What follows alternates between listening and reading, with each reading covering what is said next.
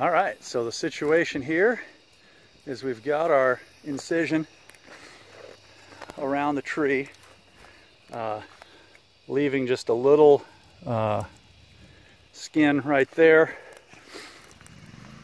And uh, this, this cut goes all the way through and all the way back. So now I'm going to be pounding these wedges in to hold that, that tree in place. Once that's in place, I will cut that last little piece and then we will just drive the wedges to push that tree over. And uh, my, my neighbor, uh, Brian, came over uh, to see what was going on and he's going to go get a couple other wedges just in case we need them. But uh, uh, next step, pounding wedges.